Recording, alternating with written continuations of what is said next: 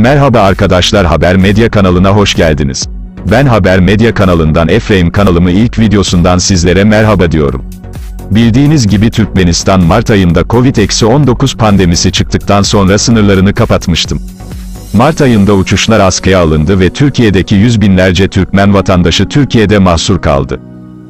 Türkmen vatandaşları Türkmenistan'a ne zaman uçuşlar var? Ne zaman uçuş olacak? Türkmenistan'da ne haberler oluyor? Bunlarla ilgili araştırmalarına devam ediyor bizlerle. Beraber. Türkmenistan haberlerini derleyip sizlere sunacağız. Türkmenistan'dan çok çılgın haberler geliyor.